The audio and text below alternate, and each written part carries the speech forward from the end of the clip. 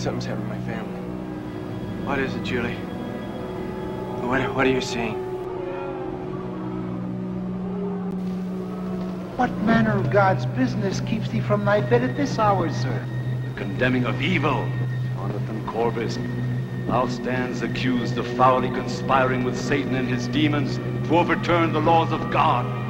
I'll face whatever you have behind those doors. And come out exactly as I went in.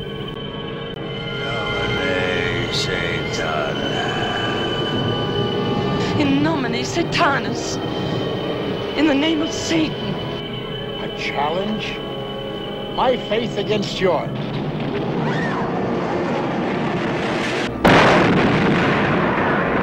Who calls me from out of the pit? God save us from the forces of darkness. Think ye to destroy something stronger than life by ending life? As the cock will crow in the dawn after my body burns, so too will the sun rise and cast my shadow over this town again and again. Vengeance!